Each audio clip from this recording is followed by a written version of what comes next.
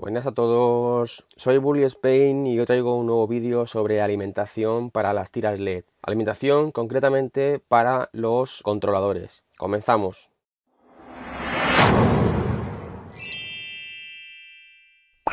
Bien, pues como algunos ya sabréis, la mayoría de los controladores traen directamente la conexión esta DC 5,5 que soportan de 5 a 24 voltios o bien traen los dos las dos clavijas para conectar el cable negro y el cable rojo o blanco y rojo.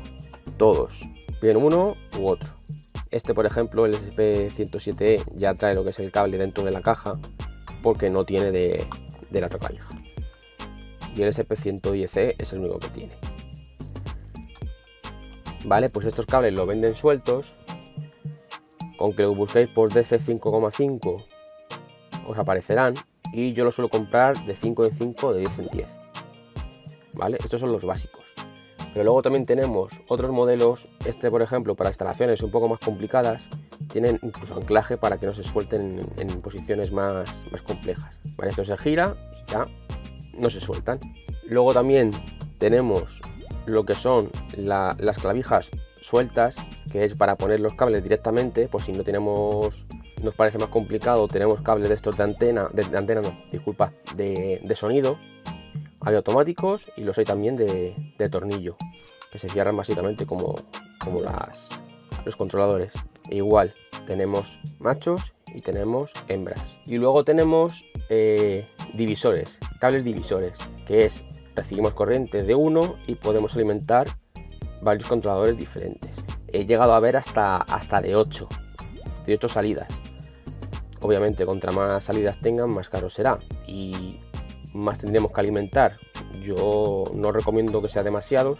Yo este lo tengo para pruebas, pero bueno, para dos o tres instalaciones yo creo que servirá. Y estos son pues, los que ponemos directamente a la fuente de alimentación. Las que vienen con transformador, con transformador en negro ya viene directamente eh, fijado.